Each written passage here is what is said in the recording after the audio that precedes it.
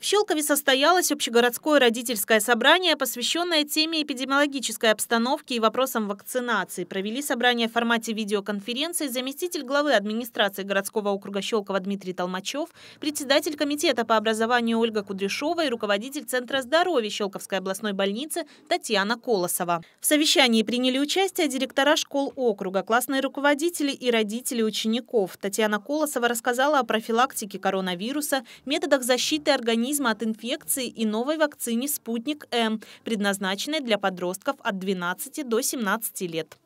Спутник М – это фактически та же самая вакцина, что и спутник Ви, известная во всем мире.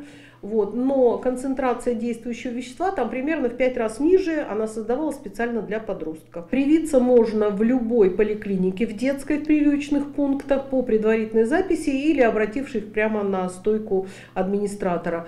И можно сделать прививку в школах, если будет в медицинском кабинете составлен список, людей. Ну что такое список? Это дети, у которых родители дали письменное разрешение на прививку, дали письменное согласие.